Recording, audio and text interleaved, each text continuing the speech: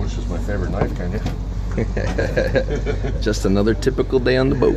Started off that thick.